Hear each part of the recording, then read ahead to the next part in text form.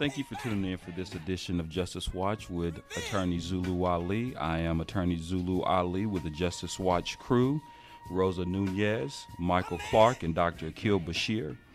This week, like we do every week, we'll be talking about critical and important legal issues affecting our communities. Our topic today is a call to action, religious institutions, and their impact on criminal justice. Our uh, guest today uh, is Imam Ron El Amin and Pastor Frank Hernandez. Imam Ron El Amin has been a member of the Muslim American community, community associated with the leadership of Imam Warith Deen Muhammad since 1975.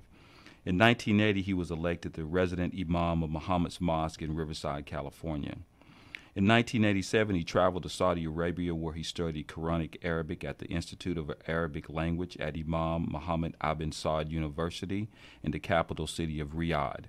While in Arabia, he performed the Hajj, Islamic holy pilgrimage in Mecca, and later visited many of the religious and historical sites in the sacred city of Medina as well as other areas. In 1991, upon his return to the United States, Imam El Amin served as the first Muslim chaplain hired by the State of California Department of Mental Health. In 1999, Imam El Amin was part of a delegation headed by Imam Warith Deen Muhammad, who was invited by the uh, Focolare community uh, and the Vatican to visit Rome, Italy. There, he participated in a three day Interfaith World Conference, Muslim Friends of the Focolare, and was able to, t- to tour religious, cultural, and histor- historical sites of Rome and Florence. The delegation was later invited to the Vatican, where Imam Warith Deen Muhammad met Pope John Paul II, and in his presence spoke to an audience of over 100,000 people. In 2002, he received the Ambassador for Peace Award from the Interreligious and International Federation for World Peace for his work in bridge building among diverse religious communities and cultures. In 2005, Imam El Amin headed a delegation of 10 to Japan, the first of a series of goodwill tours designed to introduce Muslims of African American descent to world cultures and also to share their experiences with the world. In 2007, he served as president of the Muslim American Chaplains Association and currently serves as convener of the American Muslim Community Endorsement Agency. In 2011, he was selected to serve as a permanent member of SACIR, the State Advisory Committee for Institutional Religion, designed to advise the governor on religious affairs with regards to state institutions and the local community. He continues to serve in that capacity today.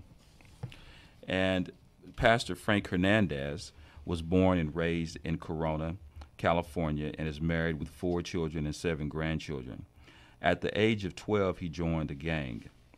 Shortly thereafter, he got arrested and continued to live his teenage life in and out of juvenile hall.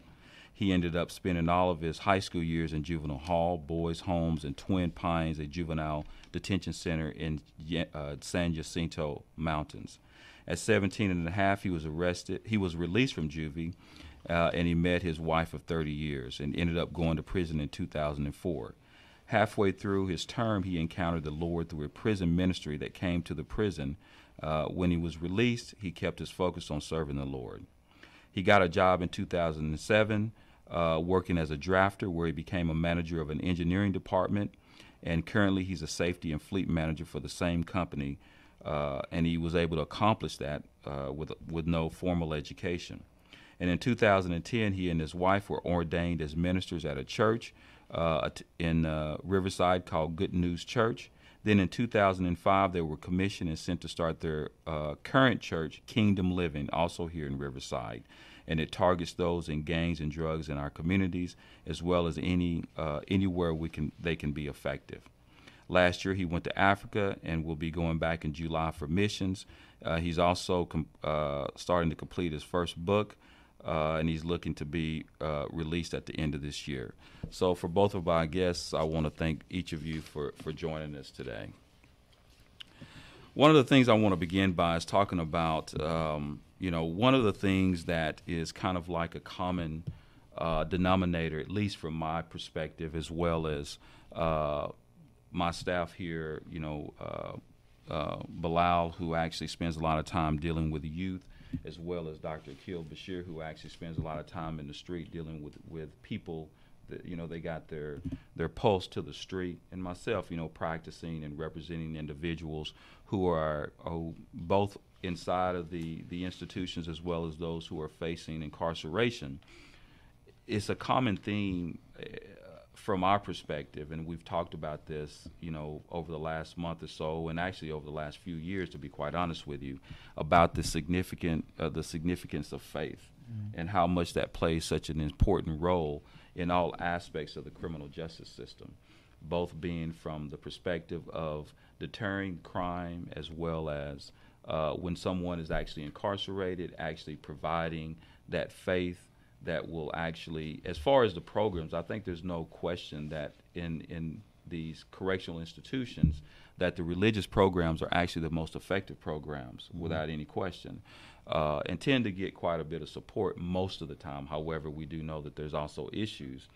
And when we're talking about reentering into society, the importance that uh, that faith-based that that people have when they come out, putting people, giving you that moral barometer, and giving you that that for whatever, regardless of whatever religion you're speaking of, when you have individuals who are able to begin to start getting in touch with their faith and, and, and worshiping their creator, we just, I believe that the recidivism rate is, is, is extremely high, you know, keeping individuals from, you know, going back because the recidivism rate is so high in the United States. I mean, I, I think it's like 60%. They say that basically within the first few years of being released from prison, probably 60 to 65 percent of the individuals that are released go back. I mean, and it depends on what numbers you're looking at. However, I think that when you begin to start looking at individuals who get out and begin to start doing things from a pro- positive perspective, then I think those who a- who basically embrace, you know, some sort of faith-based program, regardless of what it what it is, and, and obviously the most known, obviously, is the Christian faith and the Islamic faith, Judaism, whatever it may be. When they begin to start embracing their uh, uh, you know, their creator, then it seems like that's how we begin to start seeing positive things go on in an individual's life. I mean, it gives you that that moral compass, I, I, guess, for the lack of a better word, of how we're going to how they're going to live their lives. Um, and you know, the United States, obviously, I was looking at at a statistics. It said that the United States has five percent of the world's population but 25% of the world's incarcerated population. Mm. I mean, and that's that's that's very mm-hmm. alarming, mm-hmm. you know. Uh, and when we, we, can talk about doing all kinds of things to assist individuals from trying to, first of all, getting themselves into situations where they're dealing with uh, the criminal justice system or going on the wrong path, or as well as what's happening as far as corrections is concerned, or whatever is going to happen with an individual is getting out and preventing that individual to come back. But based upon my conversations with individuals, based upon my beliefs, there's no question that when that individual begins to start getting in touch with um, their creator, then I always I, be, I definitely believe that it it provides them with the foundation that they need to become a productive member of society. And we don't see our institutions enough going outside of the walls of their institutions and reaching out and trying to touch individuals in the street and providing programs. I mean, it's almost, you know, they're preaching to the choir. But when you begin to start going out into the streets and you begin to start touching individuals, I know when you when you think, and I'm gonna I'm gonna go back and, and, and it's a controversial issue, but I'm going to talk on it because I think it's really, really important. Um, the uh, during the na- days of the Nation of Islam, where you had a significant number of individuals who basically, and when I say the days, I'm talking about the older days during the time of of El Hajj Malik Shabazz and those earlier days when you had individuals, and even after that, when you talk about Imam Warith Deen Muhammad, when you talk, people don't understand how many of those individuals had criminal records. And even though that they had that criminal record, giving them that structure and that foundation allowed many of those individuals to come out and lead a productive life from the perspective that they're not out there committing any criminal acts. Mm-hmm. And the same thing happens for the Christian faith for those who go in and actually you know, some oftentimes you do have individuals that, as younger individuals, are baptized and they go through the church, but it's a formality. Mm-hmm. But then when they go in and they, they really touch and they really understand it, uh, then it's the same thing. They go out there, and I know you're a testament to that, Pastor Frank, by someone who actually had the experience of actually being incarcerated, going on the wrong path, you know, embracing your Creator, and and it uh, ended up being something obviously positive, so much so that you're able to go back in the community and you're helping other individuals not pursue that same path, or if they pursue that pay, same path, not going back. Correct. Yeah. So I, I kind of want to get your impact a little bit about how you feel as far as what you're doing right now, as far as trying to touch individuals on the street and making sure that individuals who are keeping them, first of all, not getting into the system, but if they do get into the system, how do you help them and how do you help make sure that they don't go back?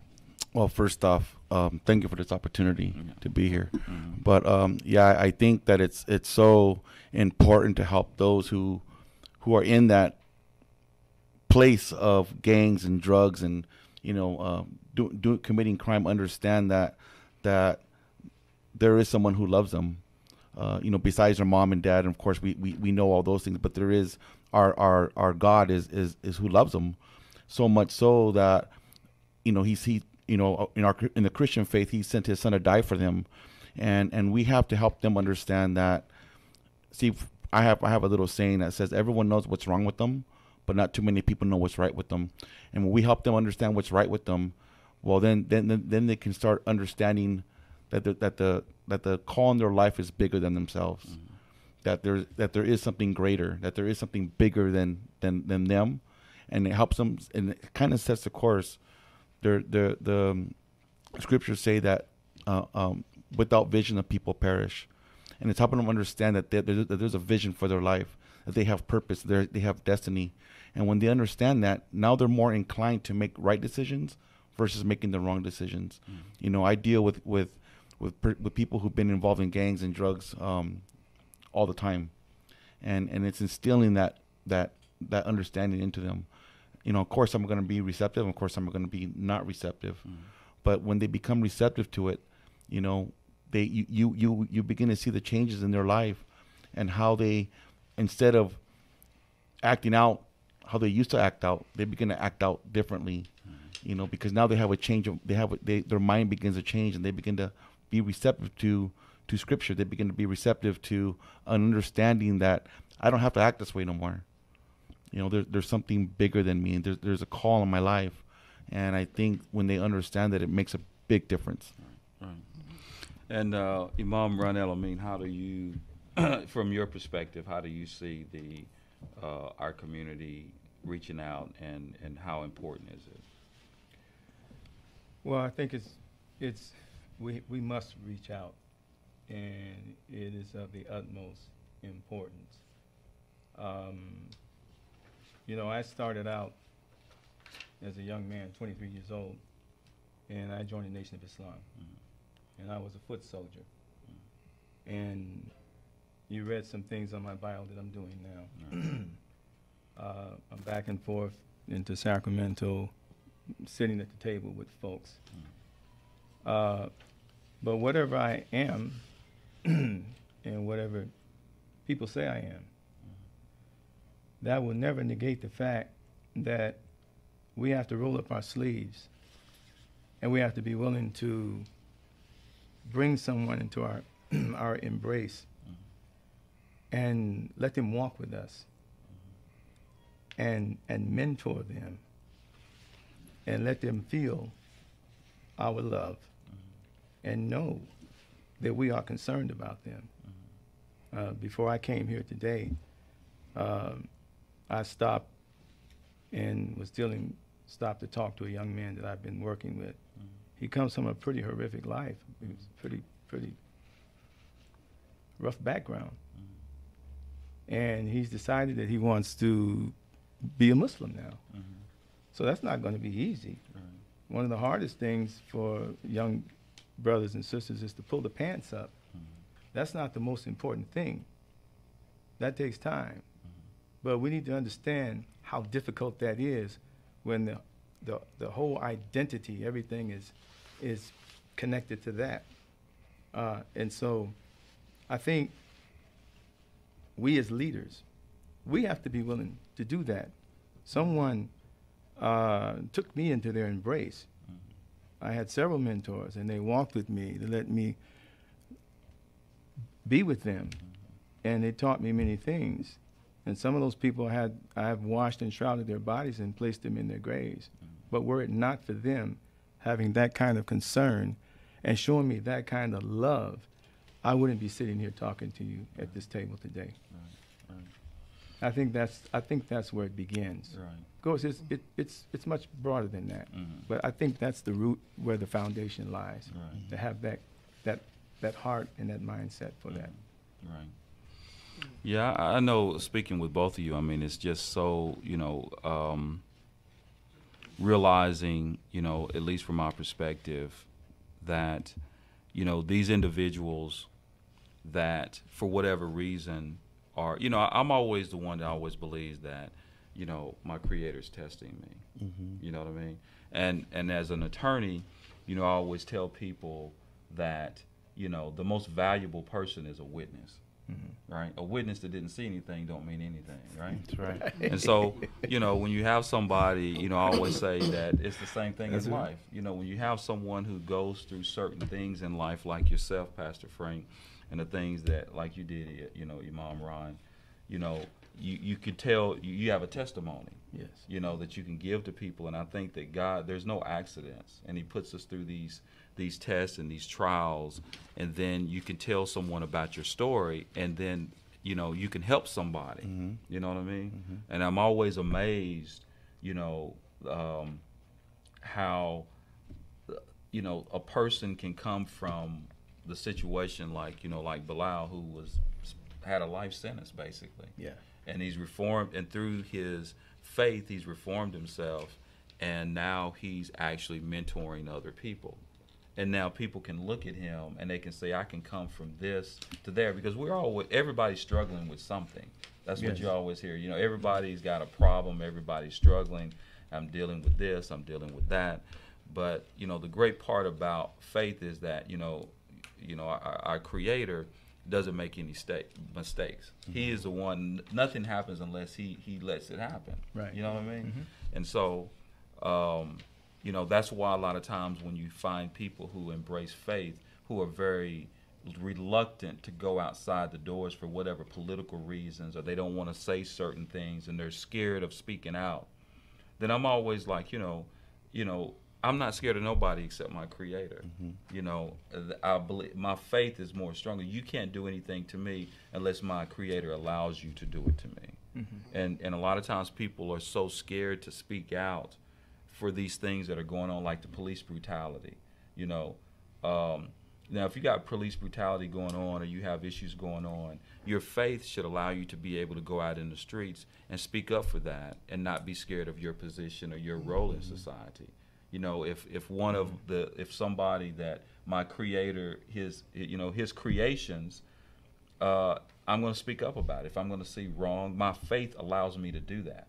You know what I mean? I think I'm being tested. I think that when I see something wrong, that my creator is testing me. When I speak out on it, I feel like that's an obligation, not for me, for me necessarily, because it, you know, obviously we do get scared, but I'm more scared of my creator than I'm scared of Sure. of of someone else. You know, so I think that's what happens a lot of times when you have individuals who are actually involved, who are in our faith-based community. They're fearful of going out and speaking out in a way that sometimes scared them. I mean, like some of them, they they belong to like there's an hierarchy in certain mm-hmm. religious organizations. Sure. And you say, hey, man, can you know, can you come and help me go out here? I want to talk about the situation that's happening to this individual in the street, or I, I want to start some sort of program. They say, well, you know, let me go up and talk to, you know, the you know mm, somebody in the hierarchy of the of the of the church or wherever wherever, and they mm-hmm. come back and say, you know, I don't think they want me to speak on that Yeah. right now. you That's know, and that's that's kind of troubling to me. yeah I, I think that you know when you get that burden when you get that you, you know it's kind of a like like a woman when she's pregnant you know she starts to get the the, the feel- starts feeling the baby kick, Mm-hmm. you know, and, and, and there's and there's signals when it's time to go into labor. There's there's indicators, there's flags that a woman knows, hey, it's it's time, and it's almost like that what you're talking about. When someone gets that that that that that kicking, that that nudge to do something, you know, and, and, and religion does that. You're absolutely correct. They they hey, well, let me go talk to, you know, my my pastor, make sure this is okay.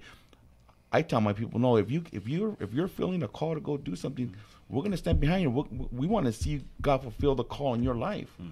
because it's not just about the pastor. It's not just about the the leader. It's this this is this is a, a, a when God created the earth, he, he wanted he said that in, in, in- Genesis, he says it's not good that man should be alone. Mm. He meant for us to be in community. He meant for us to to be surrounded and, and, and do things together. Mm-hmm. It, it's it's better when we do things together. You know, when we do it by ourselves, you know, we, we lose sight, we get misguided, we, we, we get sidetracked.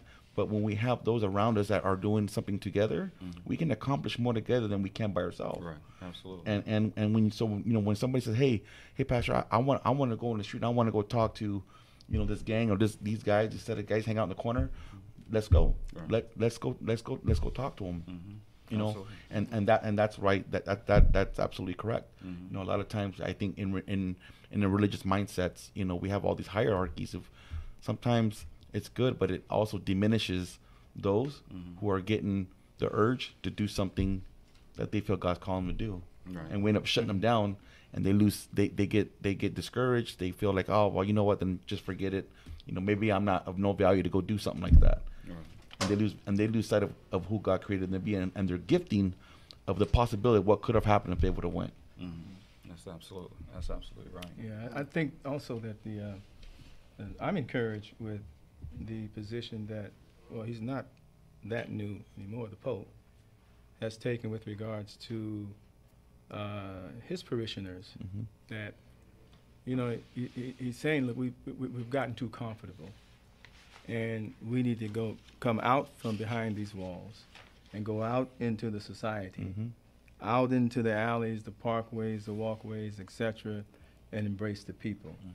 Uh, this, in, in, in my opinion, or in my estimation, is is the work of Christ Jesus. Mm-hmm. It's the work of Muhammad the Prophet, who said that if you see a wrong, you should first try to change it with your hands. Mm-hmm. And if you can't change it with your hands, you should you should speak out against it. Mm-hmm. And if you can't speak out against it, if you don't speak out against it, then you, you should at least hate it in your in your heart. So I think what has happened, I think the church, when I say the church, I'm talking about myself. Okay, I'm the only Muslim in my fa- my family, uh, and so when I go to the church, I'm I'm comfortable. You know, I was going to talk to you about visiting your church. Uh, I think the church uh, has failed in this sense, and even the mosque, because the mosque, we're like the new kids on the block. We haven't been too long here in this country, uh, comparatively speaking. But I think the religious leadership has kind of set back and allowed uh, corporate America and also Hollywood to define our lives for us, to define our cultural life, to tell us what we should eat, with whom we should associate, what we should wear, and all of these things.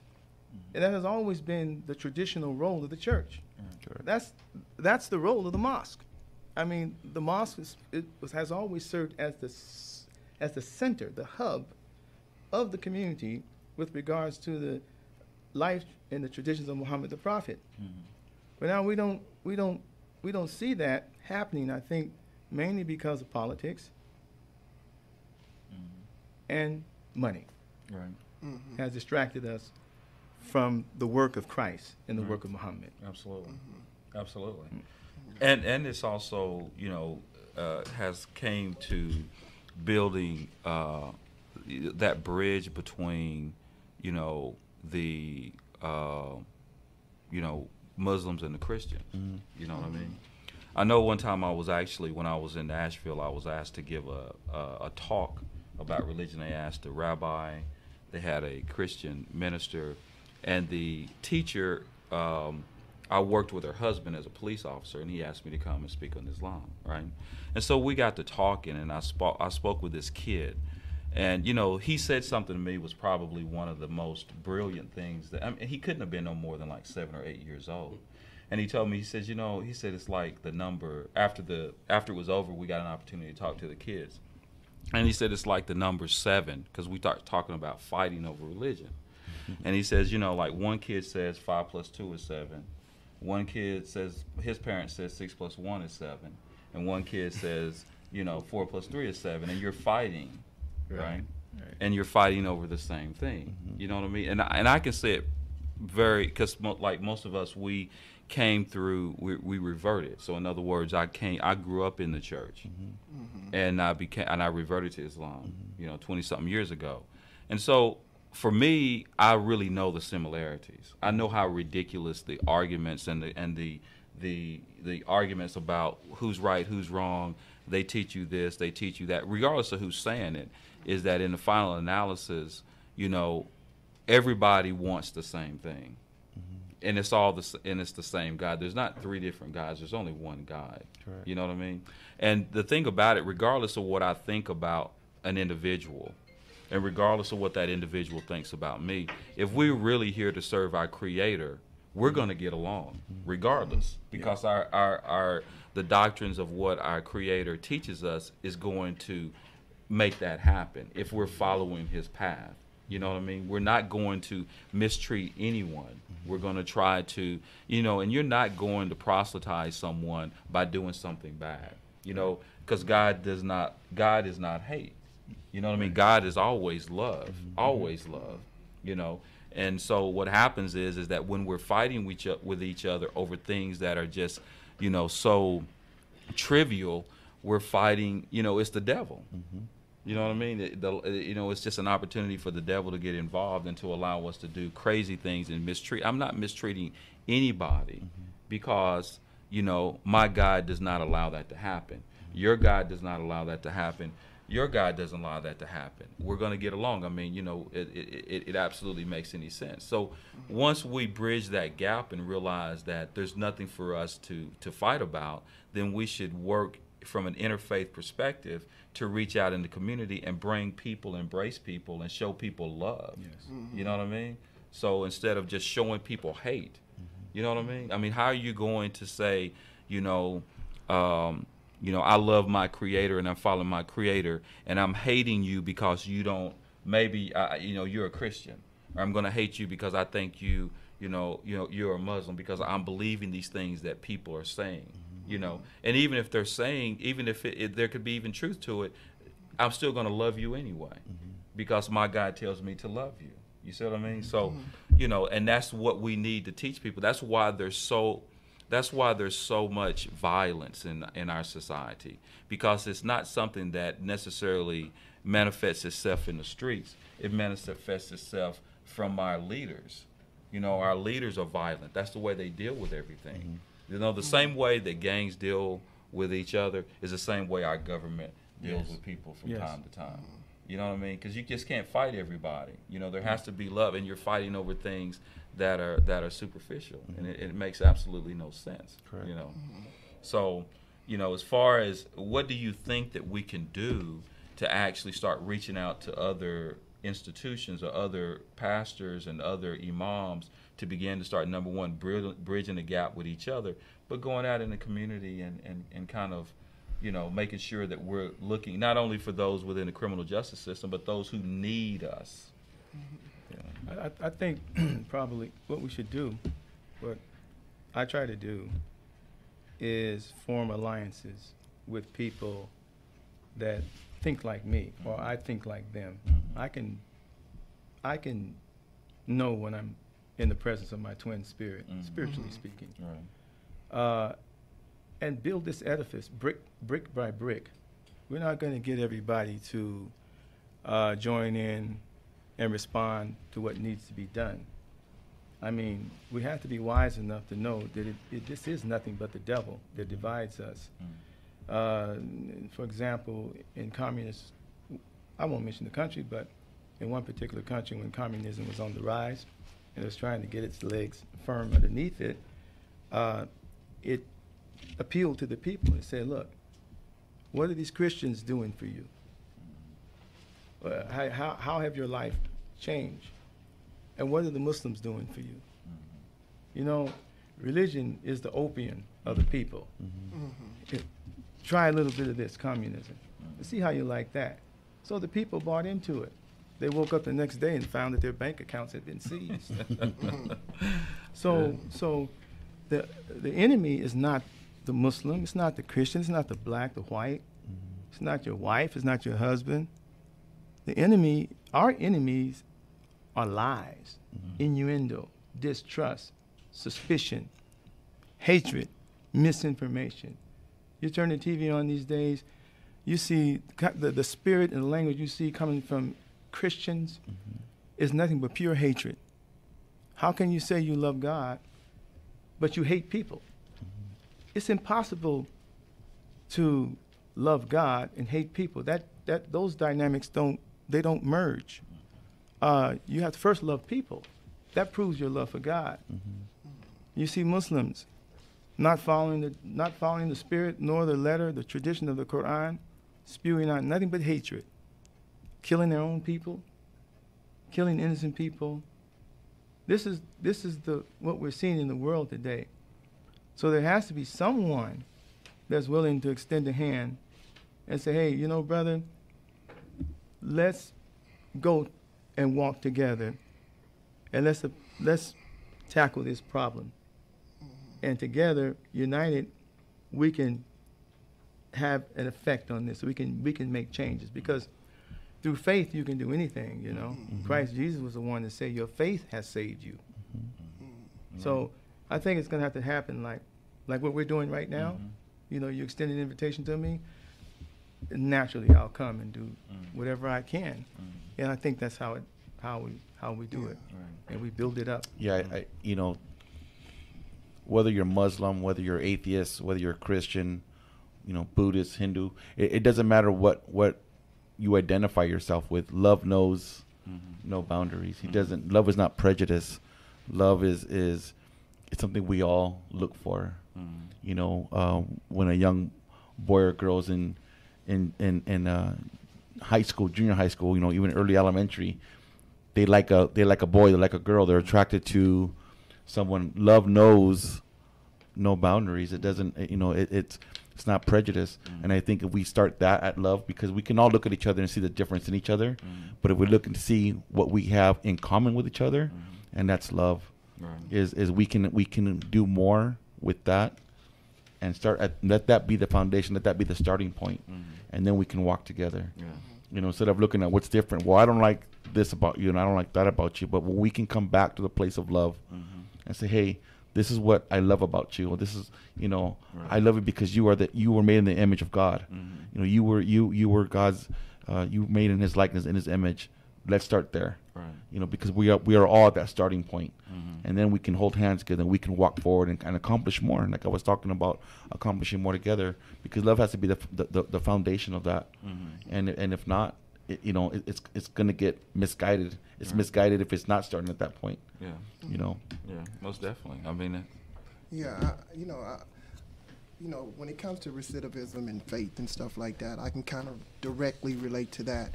You know, considering the fact that, you know, back in like in 1983, I started going in and out of juvenile hall. I think from 1983 to 1986 was a three-year span. From the time I got out from doing nine months of juvenile camp, I was back in within a couple of months. Uh, up until like 1986, um, when I actually um, received a life sentence. And from 1986 to uh, to 1994, I encountered uh, Imam Ron El Amin in 1994. I became one of his students.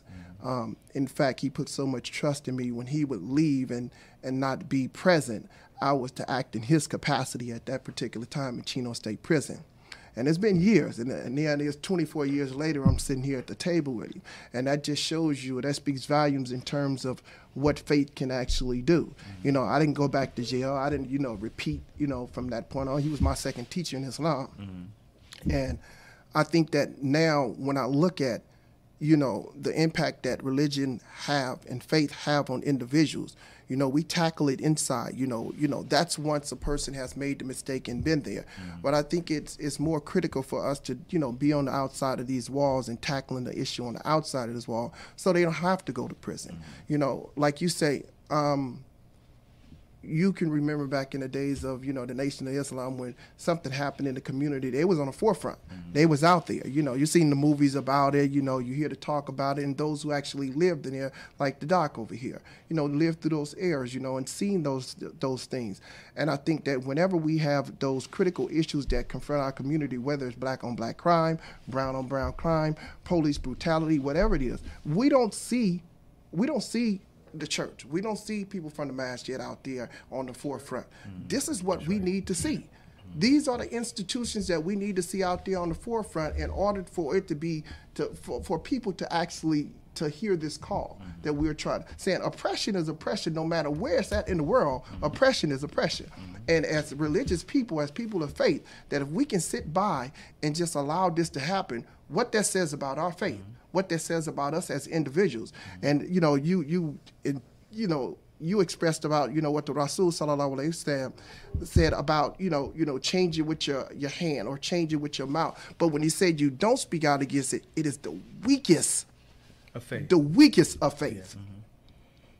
You know, and who wants to sit on the weakest of faith? Mm-hmm. I surely don't. And so this opportunity for us to speak right here, to open up this dialogue, mm-hmm. I think it opens it up to the people who are listening saying that we need to, so when the next time that the next police brutality happen, we'll see our religious, you know, institutions out there on the forefront of the line. Right. That's absolutely right. Yes, sir.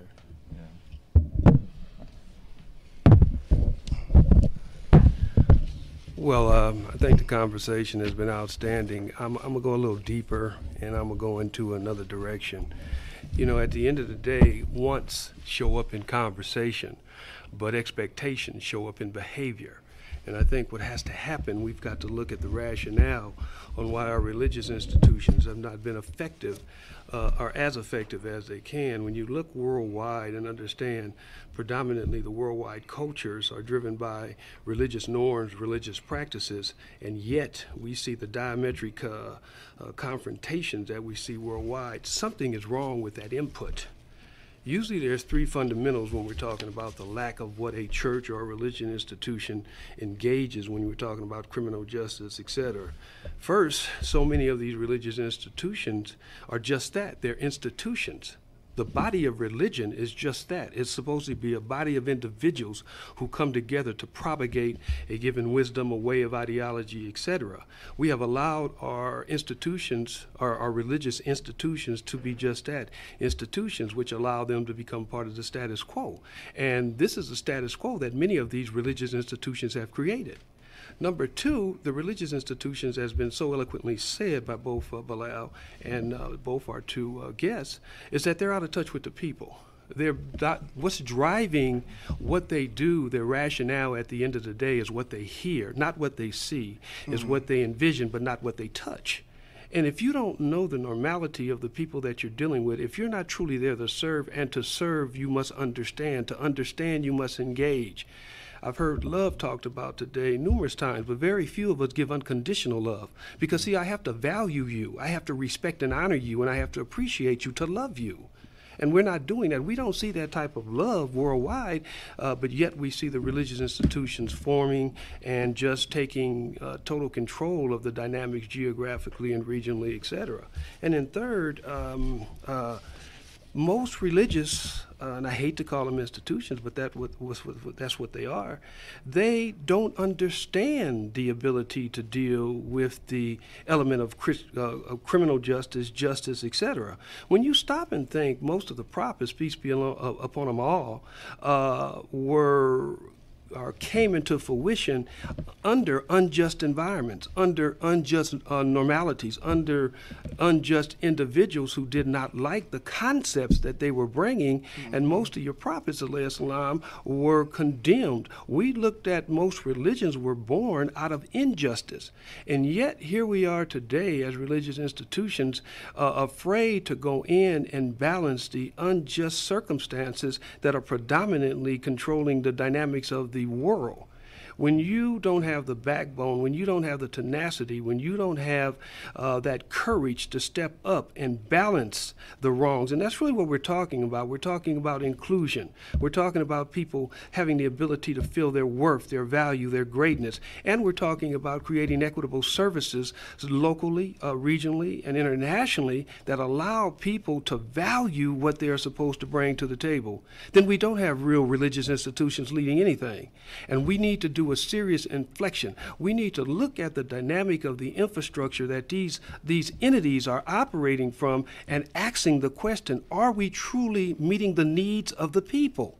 When you look at the amount of poverty, when you look at the amount of person to person destruction, when you look at the amount of wars, when you look at the amount of just the lack of value of each other, something is wrong with the dynamics of the input that is going in that has to be changed. We will have brothers like these and individuals that will stand up and step up, but that can't be a uh, uh, it, it can't be a uh, just an individuality. We've got to change the normality of how our institutions are operating. And I'll lastly say this: I think this is one of the biggest problems. We, the people, are allowing these institutions to define our realities uh, through practices, through principles principles through formalities, but not through the essence of the religion.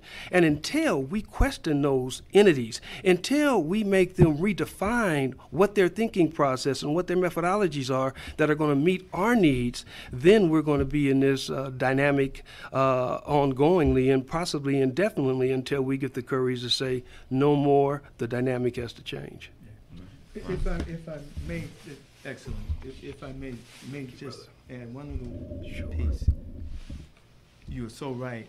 Uh, religious, the religious leadership has to step up and redefine what is a man, what is woman, mm-hmm.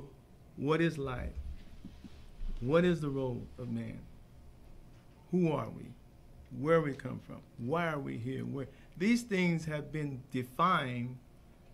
Again, I'll say by Hollywood, corporate America, yes. etc. We have to reassume that role and redefine these things according to and put them in the context in which God has placed them. And until we do that, we're going to still continue to have these young people coming up thinking that to be a man, you have to look a certain way, this mm-hmm. way, the way the media tells me to look, or I have to behave a certain way and and that's a serious problem. Mm-hmm. That's a serious problem. Mm-hmm. Yeah. Mm-hmm. I mean, yeah, they're very much the the media is very much involved. They they create the narrative, mm-hmm. you know, mm-hmm. and basically, and and we kind of follow suit with allowing them to create the narrative as to how we address it. What the even the issue sometimes they create the narrative with regards to the issues that we actually, you know, address and you know when you and now of course more than ever and we talked about this almost every week especially with our younger people i mean news and media is instant it's, it's mm-hmm. in their mm-hmm. ear immediately with our kids with the the social media and with the cell phones i mean it's it's it's, it's so much in their ears nowadays that we're competing against it mm-hmm. you know what i mean when we're talking mm-hmm. about our parents and our churches and our institutions, whether you're talking about the mosque or whatever, we're competing with our kid children with this social media and all this stuff mm-hmm. you're talking about, mm-hmm. Imam, that yeah. these people are having access to. You know, it, it, it's difficult. You know, and I always say when I was a kid, once I went home, that was it. Mm-hmm. I, I didn't have no cell phones or or you know Facebook or email. I didn't have any of that. My my all I had was my my right, parents. Right, right. You know, my you know. But nowadays, I mean, it doesn't stop. Yeah. You know, mm-hmm. I mean, you got little kids in the bed at night on their cell phones, mm-hmm. you know, looking up things, and it's so much junk that's going in their head, and and and our institutions. It's more important now than ever that our our religious leaders are out there on the ground trying to touch these people before they go on the right path. I mean, we have to do that. Um, and and again, I mean, I'm not I'm not here to proselytize one thing or another, but I mean, you know, it is what it is. I mean, we, we you know nowadays, you know, it's not politically correct to talk about religion. It's not politically mm-hmm. re- correct to talk about God. You know, they make it a bad thing now. Mm-hmm. You know, to mm-hmm. even have the conversation. Right. But you know, it saved You know, I can tell you it saved my life. You know what I mean? And and I and you know, it saved many people I know. It saved their life. You know what I mean? I know a lot of people who may have more money than I have. They may have be in a better position than I have. You know, but they don't have the the the religious foundation and they're lost. Mm-hmm. mm-hmm. You know what I mean? I know people who got millions and millions and millions of dollars that, you know, they're they're away from killing themselves mm-hmm. because they don't know what life life is really about. You know what I mm-hmm. mean? And if you don't have that foundation, and we see it with young people, they're always trying to find something. You know what I mean? They're trying to find what's going to make them happy. They go from one thing to another. If I get the job, I'm going to be happy. If I marry the right person, I'm going to be happy. If I got the right money, I'm going to be happy. If I got the right house, it, it never stops mm-hmm. when you don't know really what life is all about. Because if you don't have, you know, faith and you don't have your creator, it don't mean anything Right. in a final analysis. You know what I mean? Because you know, like Yeah. with, like they say in the military, I've never seen an atheist in a foxhole. When you when you're on that last breath, you know what I mean? Who, who are you thinking about? Yeah. You know. you know, I think it's I think it's important. You know, for I know for me, is is understanding that um, people are going to make mistakes. You know, we're we're we're, we're going to make mistakes, but it's when they make that mistake that what I've learned is is I can't change nobody.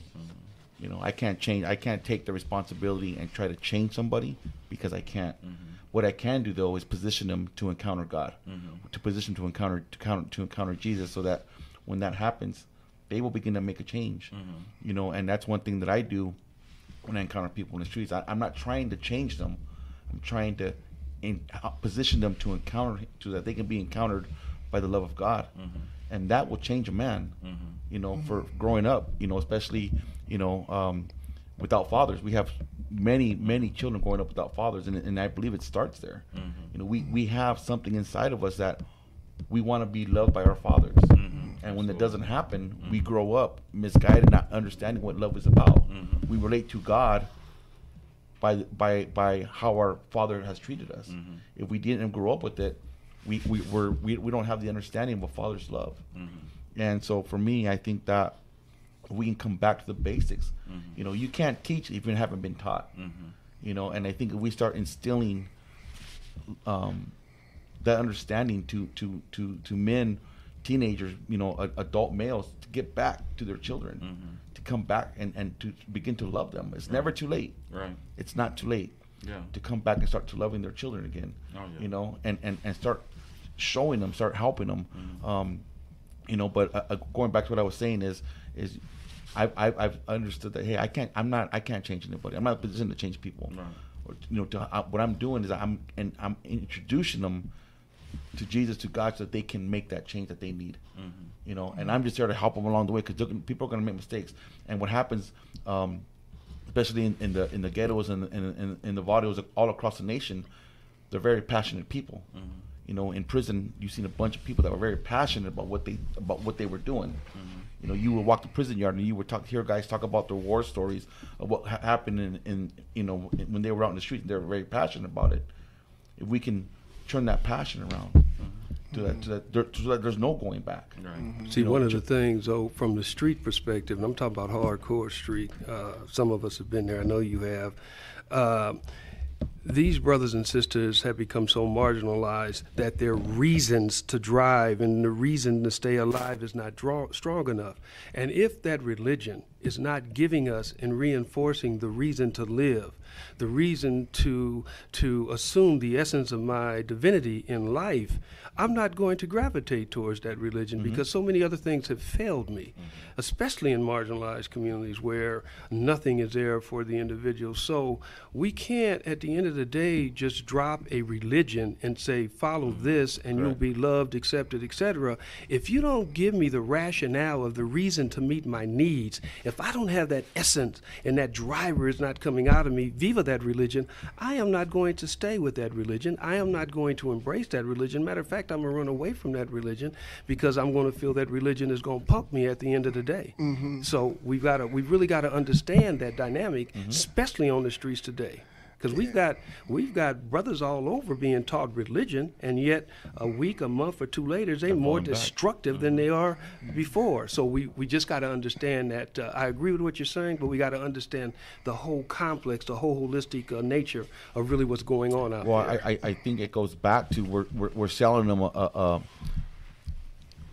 a false bag of goods, so to speak, because we come at them, we tell them, hey, go to church, serve God, and your life's gonna be great. Right. And when and when push comes to shove, sometimes their their life gets worse, and they're like, "Hey, wait a minute! I thought this thing was supposed to help me, and it's made my life worse." You know, and and what happens is, you know, there, there's a portion of scripture that when that when Jesus was born, uh, uh, in scripture tells us that that that that they started killing all, all the all the newborn babies from two years two years and younger because they, they were trying to find out who it was, and I think that the, the the devil tries to kill us in our infancy, in the beginning of your dreams, in the beginning of your walk with God. He tries to take you out in your infancy because you're defenseless, and he says, "Look, I'm going to attack you at this time because you're defenseless."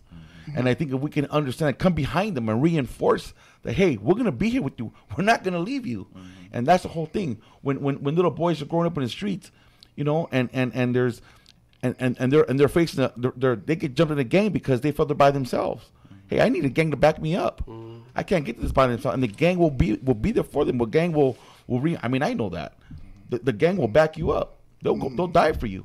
yes. And in the same sense, will your brothers will your brothers in Christ do that for you? Mm-hmm. Yeah, you know, you know, this is a subject matter, of course, that can go on and on and on. and you know, the the thing about it is, I, I remember my mother once telling me, she says, you know, son, you just have to pray. You you know, you, you guys got to got to pray about it. You got to pray about it. And, you know, and I used to sit back and I used to think about it. And I said, okay, yeah, I pray about it, right? But then I remember reading the scripture said that that, that faith without works, you know.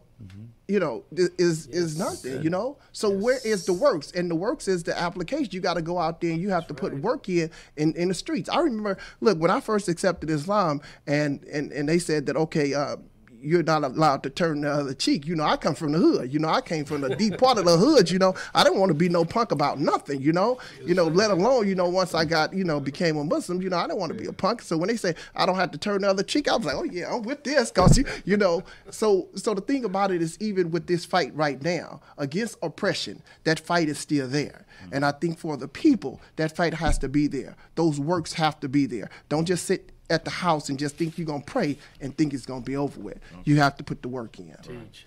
Yeah, Teach. most definitely. Yeah, and most certainly, you know, um, uh, we do not, we do, like you said, we do not have the power to change, but we have the power to influence because God has called us to be different. Yeah. And I feel like it's so important for you know all of us uh, and all of you to be sitting here and be talking about issues that are important in our communities and to you know make do action to be active and actually inform people that we have to take action. The time is now. In such you know crucial times and and and how our culture is nowadays that we have Kim Kardashian in the news you know going to the White House and lobbying the president on trying to pardon someone from from prison. So it's a different culture. It's totally different but you know it, it still stands. We, we are called to be different to be um, change makers. So um, you know I encourage all of those of you listening to um, in the radio to you know tune in every um, every Sunday and to call 909-792-5222 if you ever want to be involved in in the talk. And also to log into our gmail send us emails if you have any comments concerns. Um, justicewatchradio at gmail.com back to you mr ali. All right, thank you. All right, again, man, I, I really enjoyed this topic, man. I really hope that we can continue and do a series on, on this topic because I think it's really, really important. And I really appreciate both you, Imam El Amin, for coming in, man. I am blessed that you, you know, with your presence as well as you, Pastor Frank, for coming in. And hopefully you guys will come back again and, and bless us with your presence. Um, on behalf of myself, Attorney Zulu Ali, and the Justice Watch crew, Michael Clark, Rosa Nunez, and Dr. Akil Bashir. Uh, we'll see you next week, the same time, same place, same channel.